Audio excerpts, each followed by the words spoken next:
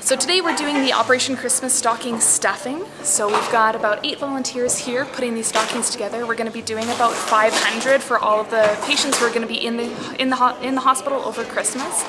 Um, so we're putting in a bunch of socks and crossword puzzles and simple hygiene items like toothbrush, toothpaste, lotion, some things to kind of pass the time, so decks of cards and things like that. We also have these great letters of hope that have been written by local students from different elementary and middle schools. So they're some fun little drawings and little uh, kind of Christmas messages that are really going to bring, you know, kind of brighten the day for these hospital patients. So these are knitted or crocheted by one of our very own volunteers, uh, Jill Anderson. So she does all of these. So these goes down here. If you could squeeze him, you would want to. Aww.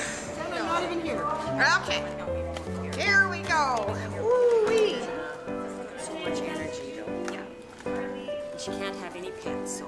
No. no.